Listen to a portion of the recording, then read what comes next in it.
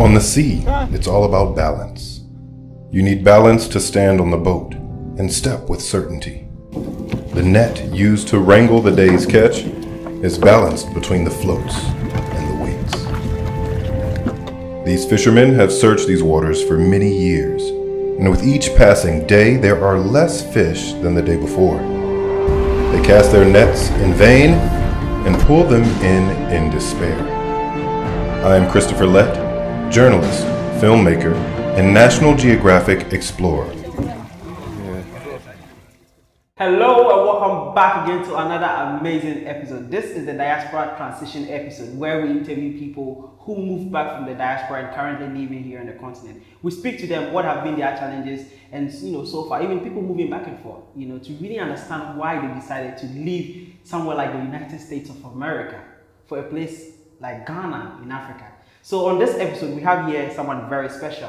Okay, he's been working for CNN, National Geographic, and he's here in Ghana working on a project. And he's going to tell us about the project very soon. So without further ado, Mr. Chris, welcome on the show. Thank you, Hayford. Yes. So um, for those watching you, I said briefly about who you are, yes. but if you don't mind, can you briefly uh, introduce yourself to Sure, sure. My name is Chris Lett. I am a journalist and filmmaker here in Ghana working on a documentary about the impact of uh, overfishing on coastal communities. This is called Saviors of Our Seas. You can follow us on Instagram as we develop this film and docu-series. But what we're covering is a deeply uh, important environmental issue, environmental justice issue for the people of Africa and for the world, really. Um, the overfishing crisis here has impacted many fishing communities and decimated uh, a lot of ecological resources mm. of Ghana. What are some fish. of the um, impacts that had on um, some communities based on your research? Right. So uh, all of Ghana's coastal land right. is a part of the, the marine fishery mm-hmm. in Ghana. So the four coastal regions, as you know, mm-hmm. um, and these regions rely heavily on fishing as a commercial enterprise, right. um, but also as a cultural mainstay. Wow. You know, uh, many people venerate the fish as okay. gods, as small gods, as some people yeah. call them. But uh, this resource has been decimated mm. over the last 35 years. Wow. Um, more so in the last 10 years due to the impact of foreign fishing fleets mm. uh, that uh, operate uh, a lot of trawl vessels, wow. which do the most destructive form of fishing mm-hmm. in the territorial waters. That's very interesting. Mm-hmm. I didn't know that.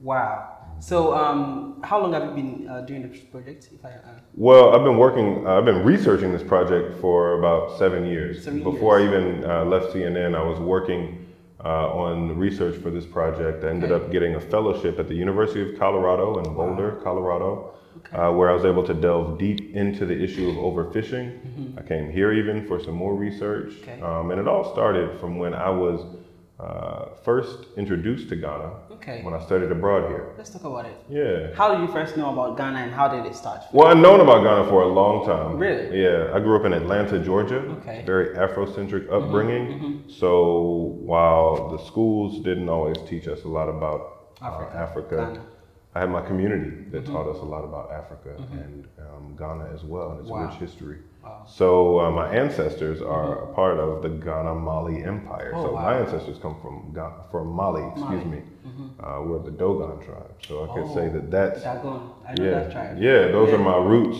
And so what we have is um, the desire to come to Africa mm-hmm. just to see what's going on, right? Um, I was supposed to study abroad in a whole different part of the world. I was supposed to go to South America, Bolivia, mm-hmm. but due to civil unrest, I wasn't able to go there. Mm-hmm. And uh, the next up was Ghana. Wow. I had a lot of friends who had done this program. They exchanged from my college, which is Guilford College mm-hmm. in Greensboro, North Carolina. Mm-hmm. And we do our exchange program with the University of Cape Coast. Most students come here, end up in Accra, okay. the University of Legon. Legon. Yeah, mm-hmm. I feel sorry for them because Cape Coast was beautiful. very beautiful, is out of the shitty city yeah. and in the heart of, um, really, in yeah, in the heart of the central region, in the heart of Ghana, quite honestly, because back then, it's a long time ago, 2004, mm-hmm. it was still very, um, I won't say very rural, but it was much more rural than it is today. Okay. And uh, I, I would enjoy going to the beach, watching the fishermen pull in their nets. Wow. It was a very uh, majestic Okay. kind of Wow. feel. Wow. So you first landed in Ghana when? 2004, 2004. January 2004. Okay. And then you've been back and forth. Been back and forth since then. And then I you recently moved back and you've been spending almost a year here. Yeah, we were here for about a year. I got a grant to actually to, to get started on this documentary, and so I'm I'm just getting started. Okay. This is just the Wow. beginning, um, and Ghana is going to be the first of many episodes in Okay. this series. Wow. I'm very interested to see the episode when it comes out. So where, where can people uh, find it if it's out? That's a great question. We'll figure that out later. so um, let me ask you, okay? Uh, Ghana, why didn't you choose any? I, I know you're linked to Mm-hmm. Mali Empire, right? But Africa is a huge continent. yes. You could have chose to go to Senegal, you could, Gambia, or other places. What really made Ghana stand out to you to, you know, make you very interested? Well, for this particular project, I've already had uh, 18 years experience coming Okay. back and forth to Ghana. Um, the language helps. It's most people speak English, so that helps kind of get Mm-hmm. Okay. around a little easier. Um, I speak some French, but not enough to like move around as much as I could here in Ghana. Okay. And um, and also the audience for this Mm-hmm. documentary is uh, an English-speaking audience, mainly because I work in an English-speaking Right. market in the Okay. U.S. So that helps also translate the story of Okay. the fishermen. All right, that's nice. You said something about leaving CNN. Yes. In your words, you left CNN. I did. Really? Tell me about it. Why? Well, I left CNN for several reasons, but Okay. one of the main reasons was when you, as you may know, you've done a lot of uh, media at this point in your career. You've been Mm-hmm. Operating this channel for about five years, I've seen yeah. from my research Yes. at least, and probably before then as well. that, yeah. So you can understand how daily uh, broadcasts and daily live production Mm-hmm. can wear on you. Yes. Um, in, in my case, I was actually uh, working at CNN as a field producer. I, I started as a tour guide. Oh wow. So I would, if you ever come to Atlanta and you want to take a tour of the CNN Center, I would be the first person you Oh, wow. meet. Wow. And I was taking people on tours, and it was a great way to get your foot in the door. Work my way up to field producer and reporter and journalist for the network. And after about three and a half, four years of the daily grind of breaking news, meaning that your life is not your own. you wake up, they tell you you have to go here, you have to grab your bag, and you have to go. You may be there for days, you may be there for weeks. It Wow. could be a, a, a hurricane, a natural disaster, a mass shooting, whatever the case is. Um, I was covering a story that was not supposed to be very dangerous at all, Hmm. but it ended up being attacked by ISIS terrorists. Wow. So it was the first ISIS directed terror attack on U.S. soil Wow. in 2015. Okay. So from there, I developed some uh, PTSD and mental Mm-hmm. issues that people uh, don't normally recognize or aren't trained to recognize in the media world Mm-hmm. Okay. as much as they are today, probably. Yeah. Um, on top of that, it was during the height of the Black Lives Matter movement. Mm, okay. And so I was um, just running and gunning, man. Wow. And I couldn't couldn't wear that um, production side of myself out. Okay. Wow. Yeah, so I had to take a break. Wow. I took that necessary break. In the meantime, I got certified as a yoga instructor. Okay. So Okay. that was part of my healing process. Wow. And dedicated my skills as a journalist and storyteller to the environment. Okay. So I figured uh, I can best serve myself as a storyteller and the public that wants to watch my stories Okay. by telling stories about the environment and ways that we can help Wow. raise awareness and Wow. possibly have solutions. Wow. So that's how National Geographic came up. Yeah, yeah. So I ended up applying for a fellowship called the mm-hmm. Fulbright National Geographic Society Storytelling Fellowship. Mm-hmm. And in this fellowship, you're able to combine your skills as a storyteller mm-hmm. and the funding of the U.S. Fulbright program to do research and to um, collect footage, Okay. gather materials necessary to tell these stories. Wow. Across Your the portfolio is very amazing. Thank you. so let's talk about Ghana a little bit, okay? You've been here, you've seen around, you've been in Cape Coast. What would you say is your most favorite thing about Ghana? Oh wow! I would say the natural sights. Sometimes, yeah, just sitting around looking at the ocean is very beautiful. Is one thing. Um, the people Wow. are number one. Everybody's beautiful. Just everybody's so beautiful. just look at look at beautiful faces and Yeah. people all day to hear people talk. Uh, sometimes, especially Fanti Mm-hmm. um, and Ewe, those languages sometimes Ewe, excuse me, Okay. right? Uh, um, those you hear them and you. I may not know everything you're saying. You've I, learned some Twi? I speak some Twi, some Okay. Fanti, some. Etse. Boko. Okay. Yo, yo, what, Fra was saying? Within the headphone. Yo, headphone yo, we're from Kofi. That was good. Inyo. Wow. So, um, yeah, I, I learned Fanti way back in 2004. Wow. My teacher was actually Nana Jane Opoku-Agyemang, Prof. Nana Jane Opoku-Agyemang. Oh, wow. The last, yeah, uh, vice presidential candidate for the NDC back in the day. Wow. Yeah, so she's pretty Wow. tough lady. So she would not let me get by without Wow. You are deeply rooted in Ghana. Yeah. That's amazing. Mm-hmm. Wow. Um, people, you, you are saying so many beautiful things about Ghana, right? Africans living on the continent, young teenagers, don't see it the same way you see it, This is true. right? So, what are you seeing here in Ghana that the ordinary person or the ordinary Ghanaian who wants to escape to the US, UK Mm-hmm. is not seeing? You know, I don't know what they're seeing Right, because I'm not them. right. But I know what I see. Mm-hmm. And what I see is um, people full of creative Mm-hmm. and bursting with creative energy. And that creative energy is something that's been driving the world for millennia. Yes. I'm not sure if you're familiar with uh, Howard French, but I would encourage you to read his book, Born Okay. in Blackness. Okay. Um, I had the opportunity to speak with him, Mm-hmm. uh, or to rather hear him speak here in Ghana. Mm-hmm. Um, but he talks about how West Africa and Ghana in particularly was so instrumental to creating what we call modernity. Modernity, excuse me. Okay. Such a tough word to say. A lot of things I could probably curse less so the kids can watch it, but Yeah. it's a there's a lot of messed up things that go on here in Ghana and that you see evidence of here in Ghana and and a lot of the young people want out and they want to see more of the world because it's their labor mm-hmm. or their ancestors' labor that created the rest of the world Yeah. that made it great. Yeah. Yeah. So that's a natural inclination. Wow. Yeah. Wow. Wow. Do you, do you believe Africa is the future, though? Africa's the past, present, future. Really? Yeah. Wow. Being being in the US and hearing about Africa, Ghana, what do you what misconception do you had, or did you have any, if you did, before even the first time you, you came? Yeah, no, not really. I would say I came here with an open mind, and I, I talked to many people, relatives, mm-hmm. friends who had been here mm-hmm. um, many times. So we had a very good orientation. I personally had a very good orientation to mm-hmm. what to expect. I had been to Jamaica before as a young, Okay. small boy, so I kind of compared it to that a lot. You know, there was a lot of um, similarities. Even in Jamaica, you can go speak Twi Twi. Fanti right heard, now I in the. Maroons. I went there one time and I was up there speaking, and they were like, "Whoa, Wow. how do you know this language?" Wow. I'm like, "Cause they're The speaking it." similarities. Yeah, it's the Are you trying same. It's the the same people? It's the same. They are the same. And you've traveled around the world with Mm-hmm. your work and everything. What would you say you've learned about black people that taught you everything about yourself? What would you say? I would say here was where I learned a lot, the most. I would say about black people. But what I can say, what I can say is, going to Ethiopia, I would encourage everybody to go to Ethiopia, Mm-hmm. Oh, wow. just because it's the cradle of civilization. Mm-hmm. That's where the first people came up out of the earth and populated the world. I saw in your uh, documentary you would be going there as well. This uh, the fishing uh, documentaries. Mm-hmm. Uh, you'll be doing the same in Ethiopia. Is that correct? If I read Uh, eventually. Eventually. yeah, from your mouth to God's ears, yes.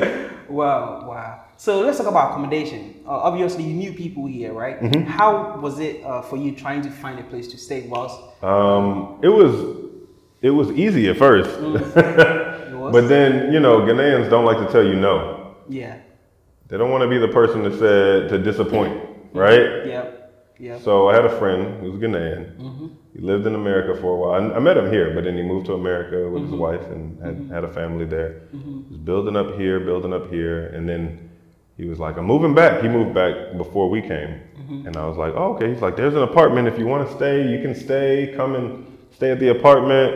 Um, they had like a four four kind of unit apartment. And so I stayed with my auntie first, my host mom, where I Okay, first came to Ghana. And so she was, I was like, we'll stay here for a few weeks. and then he's getting the apartment ready. A few weeks turned into a few months. And I went to go check on things, and the things were not ready the way they were supposed to be, right? Wow. So we ended up finding a place in our neighborhood where I also, again, um, first got oriented in Ghana, in Cape Coast, It's a small neighborhood called Ola. Ola. Okay, Ola. Ola Okay. Estates.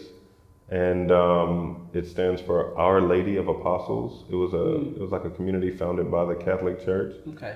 Okay. but I call it Old Ladies of Apostles because the old ladies run the whole show there in the town. And uh, it's pretty it's a pretty Wow. nice neighborhood, but it's a it's a middle class neighborhood for Ghana. Okay. So you've not really had any challenges trying to find accommodation because most people No. do have that. No, and I think it's it's it's, it's mainly attributed to the fact that I've been coming and going Okay. for so long. Okay. Well, I wanted to you know track back a little bit. Mm-hmm. National Geography. Yeah. What has been some challenges trying to get your story across or even to document this kind of stories? What have been Right. some challenges you Well, uh, let me explain something to you. So the National Geographic leg is it's not National Geographic. National Geographic has two arms. There's a philanthropic arm, Mm-hmm. and then there's their production arm. Okay. So my grant is funded by the philanthropic arm Mm-hmm.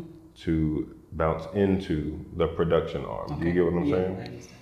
And so when you ask about challenges, I think there are challenges any storyteller would tell you that, that especially dealing with this digital medium will come up against in Ghana. Mm-hmm.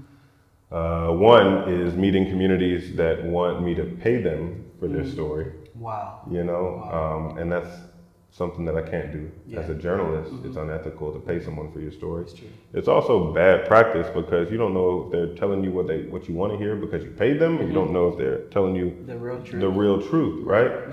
So that's that's one challenge. Another challenge is uh, people being scared to talk about what I am talking about, Wow. which involves a lot of illegality. Mm. It involves um, consequences from, uh, you know, organized criminal enterprises, Mm-hmm. if you will. Um, it can very well be a life or death situation Wow. for some of the people who choose to talk to me. Mm-hmm. So for that reason, I've been very careful in choosing the subjects that I have chosen, and it also wow. narrows down a lot of the people that I can even talk to because so many people are involved in the illegal trade of fish, not because they're criminals or want to do bad. It's because the situation has become so dire, Wow. and that the only way for a lot of them to operate is to go along with those elements to just have something to eat Wow. and have something to sell. Wow. Mm-hmm. That's very interesting. We would go for a commercial break and uh, we'll be back very soon. So, yes, this episode is brought to you by Terra Nova, Home for the Elderly. And uh, this space is created by a lady from the diaspora or people from the diaspora who understand the needs of the diaspora and moving back from the US and other uh, places around uh, the globe to Ghana and currently living here. Most people came back uh, retirement for their retirement, and um, sometimes you know not having a family member here is sometimes challenging. Um, if you are sick or the elderly at your home is sick and you have to go to work, you can't just leave them alone. So you need to you know find places like Terra Nova Homes where you can you know um, you know, sign up. You know, they have nurses who are certified, also in, CPR training, very friendly, who can take care of, of um, the elderly with passion, not just anyone just wanting to just do it for the money, but people who are, you know, dedicated with the craft and everything. And they are located in Tema Community 20, very close to medical facilities. So you don't have anything to worry, you know, very beautiful place. And yeah, check them out. Their name would be on the screen. Their telephone numbers will also be on the screen and also in the description, as well as their GPS or their landmark. So it will be very easy to locate them. So the name is Terra Nova Home for the Elderly. Don't forget. And you have to check them out. Let's get back into the video. What would you say has been three, apart from this is not National Geographic, this is Ghana. You know, electricity is not stable, Yes. water cuts out all the time. What have been some major challenges? Oh, okay. Those are the two two of the three. If you want to go for three, yeah. Those have been some major challenges. I'm here with my wife, Okay. and wow. so she she quit her job for about a month. I mean, about a year Wow. to come and support me on this venture, which is very noble of her, right? Wow. Yeah, very beautiful lady. Thank Oh, you. wow. So That's I'm so very sweet. thankful for her support. And and in this time, Mm-hmm. She has had some challenges, and so have I. But Wow. I would say she's experienced them head on. Did she tell you what her challenges are? Oh yeah, no, we lived them together. So the first month we moved, so we finally moved into our place. Okay. Mm-hmm. It's a beautiful two bedroom accommodation, which is very nice. Wow. Um, I, I even have a little what they call a boys' quarters in Okay, the back. okay, yeah. I call it the man cave because. I'm not a boy. Okay. You know, Yeah. go back there and do my brainstorming, do my writing.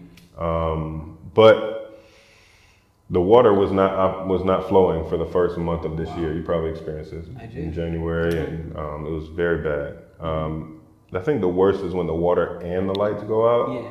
Because then it's like, oh, if the lights go out, I can go cool myself in the shower. That's fine, right? But if it's both go out, then you're like fighting mosquitoes. You, they all come inside because it's dark. You know, they they find their way inside the mosquito net over the bed somehow, and Wow. um, yeah, I would just go outside in my drawers and lay down on the street. Seriously, I'm not even kidding. Just go lay down, cool off. Thankfully, we live near the coast, so Yeah. we'll get a breeze on the hill, Okay. which is very nice. Wow. Um, but those are very, to So me, you've not had very minor anything- challenges. Okay, you've not had any crazy challenges that you'd be like, okay, now I'm done with Ghana, I'm packing my bags and leaving. I would say the most, I would say crazy challenges are interpersonal challenges, dealing with other people. Okay. Um, being somebody who is um, looks the way I do, I'm tall, I'm loud, I'm fair skinned or light, lighter complected, if you will. Um, so that makes me stand out in many places, and especially in the more rural places where I travel. So the the people who want to be your friend and they Yeah. they just want to be your friend because they you see you're, you're from outside, you're an American. Maybe you can help them. Maybe you can give them Money, something. Or, yeah, mm-hmm. things like that. Mm-hmm. Um, and also dealing with friends who I've made over the time, coming back and forth. Okay. And now, you know, I come here on vacation mm-hmm. and they want to act like we should just be vacationing the whole time. And I'm like, I'm not here to vacation right now. I'm here to work on this project and get things done. And I, I, I'm sorry, I can't go booze with you every Wow. single night, every single day.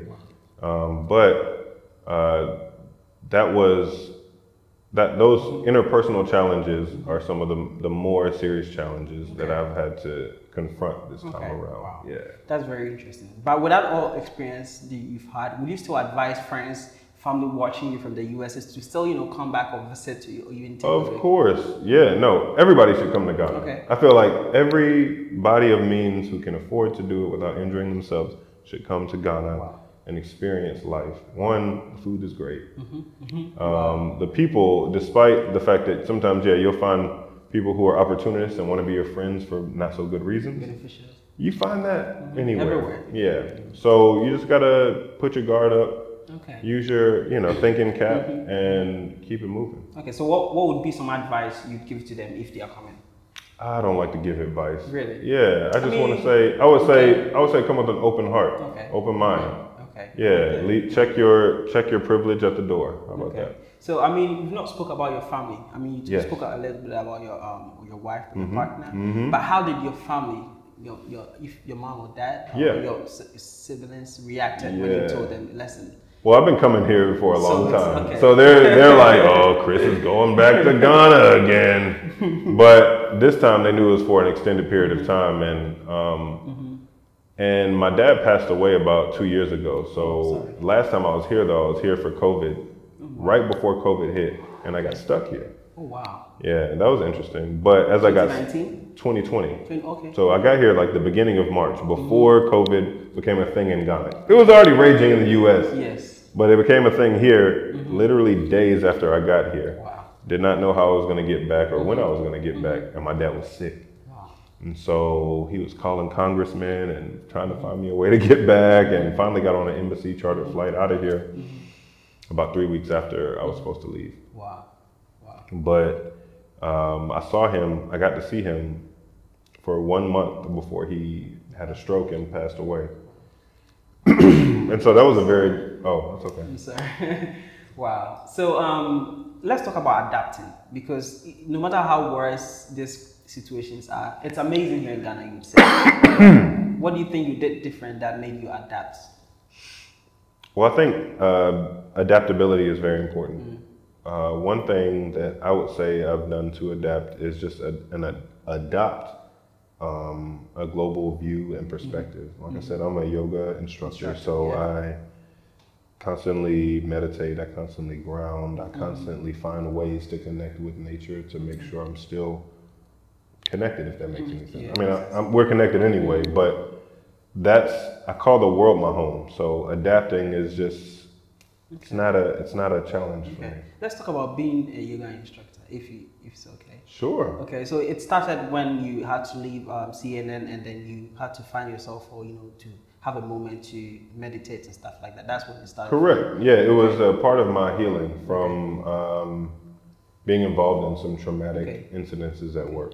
So now, do you do you, as, you know accept or have a how do you call it? Is it um, offer the same service to people who are interested to to kind of Yeah, so I, I did have a few yoga classes here. Um, I really like to work with the kids okay. because adults are just troublesome, you know. Um, the kids are much more open to it, and so I have a couple of friends who are teachers, and so I did a few uh, classes with their children and with their okay their students. okay Um, I've done I've done a few private sessions here, but for me, it's not so much about teaching people how to move. It's about showing people through example Okay. how to live in unity with yourself. okay Because a lot of times we like to separate and compartmentalize ourselves, Mm-hmm. you know. But and while we are naturally separate, there's a higher and lower self. right It's when those two come together that we're at our masterful best. okay yeah wow. So do you offer that service now if someone even wants to join No, you? I'm not open for service right now. I'm fully focused on this documentary right wow. now. Wow. What excites you about the documentary since you brought What excites me about the documentary is one to just be able to raise awareness about the issues Mm-hmm. surrounding the fisheries and the ocean. I'm very, uh, I love water. Um, it's something that I've always grown up around, uh, and the majority of this earth is covered in water. Right. Yet we know so little about it. Only about one percent of the ocean is mapped, Mm-hmm. um, and also only about one percent of the ocean is protected Okay. from destructive practices, pollution, marine protected areas. Those are the areas in the ocean where Okay. you can't ship, you can't drill for oil, you can't fish, you can't mine, Wow. you can't do any of those things. But it's only 1%.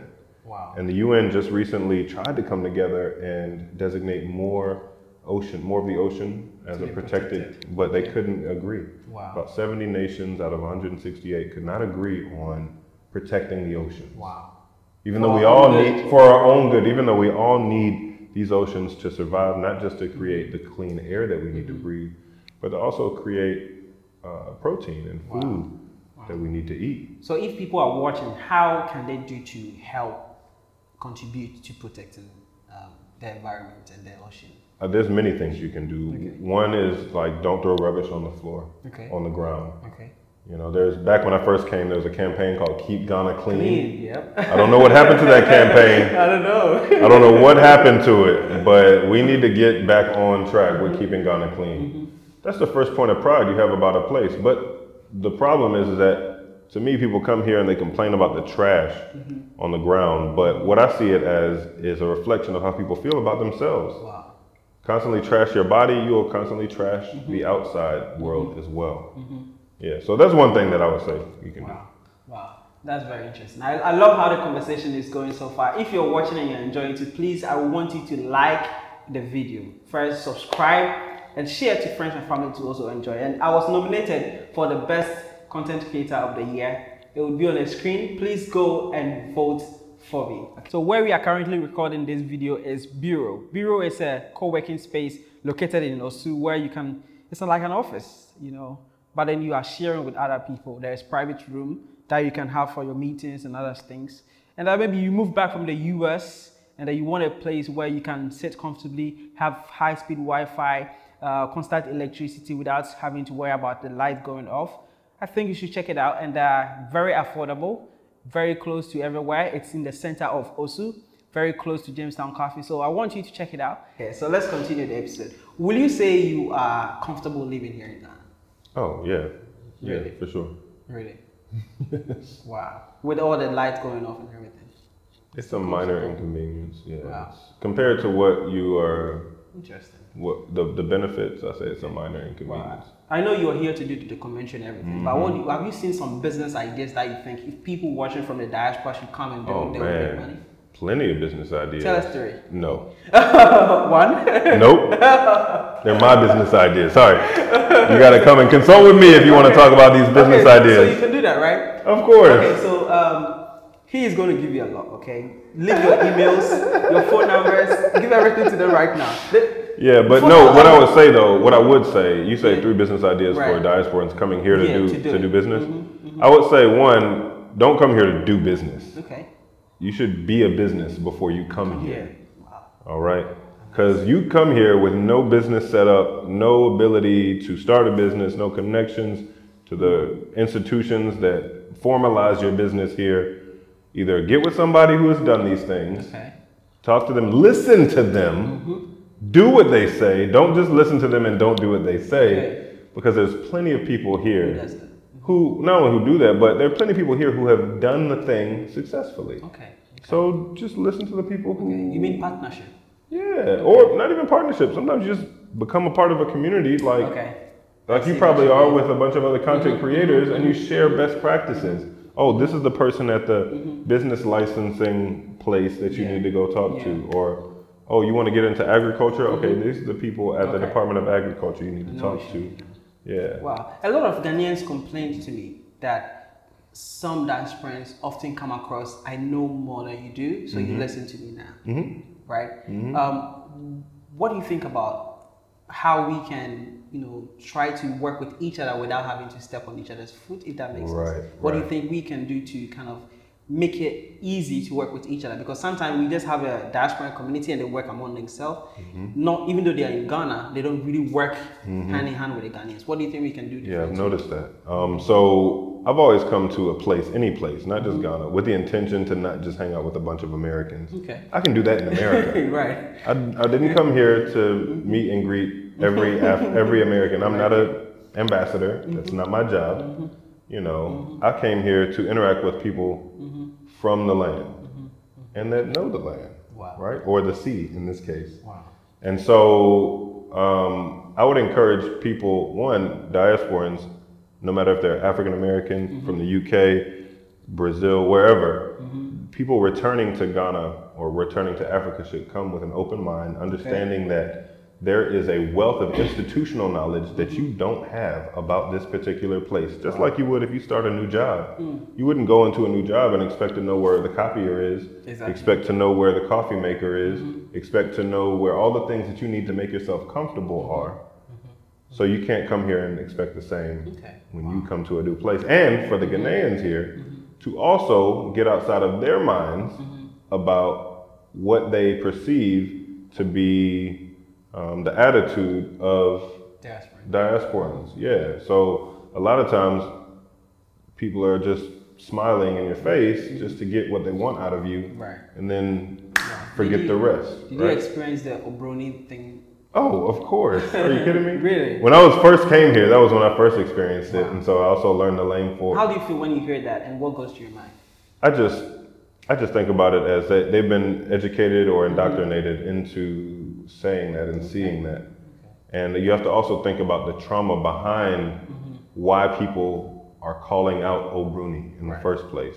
It's because there was a time here when colonial powers existed that if you did not recognize this person from outside or not recognize this white man, that could be mm-hmm. some trouble for you possibly. You get, you understand Yeah, what I mean? So what I try to do is diffuse the situation by mm-hmm. speaking either Twi or Fanti mm-hmm. or tell them, oh, I'm Bibini. Mm-hmm. I am not, Yeah. I'm not Obroni, you know, and they'll be like, what? But you look like this. And I'm like, well, look at the, check the coil pattern Yeah. in my hair and you know and how I dance. you know what I mean? So those things, yeah, right. Those things kind of um, those things kind of disarm people and make them feel a little bit more relaxed. Wow. And I oftentimes hear from Ghanaians they're like, "Oh, you don't you don't act like all the other Mm-hmm, people that we meet from outside," and, and it's because I'm here to relate to Okay. a heart, like not that. not just Mm-hmm. you know. I understand. So, I mean, um, I want to ask this, okay? America, Ghana, based on your experience, there's every country has its ups and downs, right? Which one do you think is better and suits you more? I wouldn't say one is better than the other or suits me more than the other. There's things here that I enjoy that I know I'll miss when I go home. Um, and there's things at home in America that I enjoy that I know I do miss when I'm here. So it's only, I would say, it's it's not a for me. It's not a matter of um, what's better or worse, Mm-hmm. or what's up or down, um, because all those are paradigms that are false in the first Mm-hmm. I asked place. that because there's, there's been a lot of um, diasporans, black Americans moving Mm-hmm. back, and they often say America is doomed, America is going down. Yeah. And I don't think you think the same, or what, what's your opinion? Because there's a lot of people No, America back. is a great place, and I can tell you, coming to Ghana and seeing how people were proud of Ghana, especially back in 2004. They may not be so proud right now, Right. but back in 4 you were fresh into a democracy. Those those times and that time I was here about six months mm-hmm. made me more proud of being an American, mm-hmm. mainly because I was jealous of the pride that people had for Ghana. Yeah. And I was like, I want a place to be proud of. And I was mm-hmm. like, yeah, there's some messed up things that America has done to my people, to the world. And at the time it was 2004, so they were like actively engaged in the Iraq War, and it was people were really mad at America globally. And I took it upon myself to pick out the points of pride in America and think about, you know what? These are where my people are from. Yes, I'm Dogon. I'm also Native American. Right. Those are my roots. Right. My my people came out of that soil. My people built that nation. Mm-hmm. Mm-hmm. You know, and made it great. All the best parts about America are the black parts of America. Mm-hmm. Your music, Wow. your food, your dance, the way we dress. Nobody's the most emulated man in the world is the black man. That is true. You know it. That is true. And what bigger stage does the black man had in the world than in America? Wow.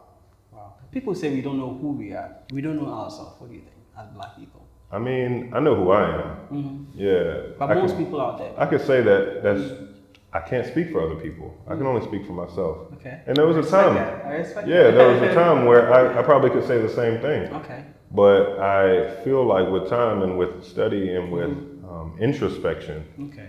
you get to know who you are. I like that. Now let, let's talk about current affairs. Apart from the documentaries, are you offering any kind of services that people watching from the diaspora can benefit in any way, shape, or form? in that consultation or anything No. like that? No. Watch my documentary, Follow Okay. Saviors of Our Seas. Let your life be changed by watching this documentary. That's the service I can provide. Wow. We are almost at the end of the interview now, and uh, if you did enjoy, he is Chris. I will leave every link in the description and also Yes. on the screen. Please go check him out and see what he's doing here on the continent. Okay, so I want you to advise the Africans, give a knowledge about you know how they can you know add value to some things that they have here to either, either Yeah. export or to make uh, money, Yeah. so that they don't always result in leaving to the UK, US to find a good Right. pastures. What would that? Well, it starts inside. Okay. and realizing that the gold is not in the hills, mm-hmm. the gold is not in the river, mm-hmm. it's inside you. Mm. You are money. You are gold. Mm-hmm. You are the value. Okay? I. That's it. Wow. So moving back, do you think everything has been worth it for you? Yeah. Are you kidding? Yeah, I'm, I'll be back very soon. So, yes, it's always worth it. Well, if you have a final message to the people, what would that be? Uh, just stay true to yourself. Wow. Yeah. Thank you so much for Thank you. coming. Thank you for talking to me. No doubt. It's been a wonderful episode, and please like, share, and subscribe.